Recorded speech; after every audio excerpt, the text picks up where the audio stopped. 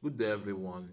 In this video today i will show you how to edit profile name in facebook. So to do this firstly what you have to do is just open your facebook app. So when done with that the next thing for you is just to click on your dot icon which has your profile picture in it which is this one right here at the top right of the screen. Click on it to continue. So when done the next thing for you to do is just to click on settings right here. As you can see the settings icon click on it to continue so when done, click on see more in account center, which is this one. Click on it to continue. So when done, click on profile. Then you click on Facebook, as you can see, click on it. So when done, you can then click on name.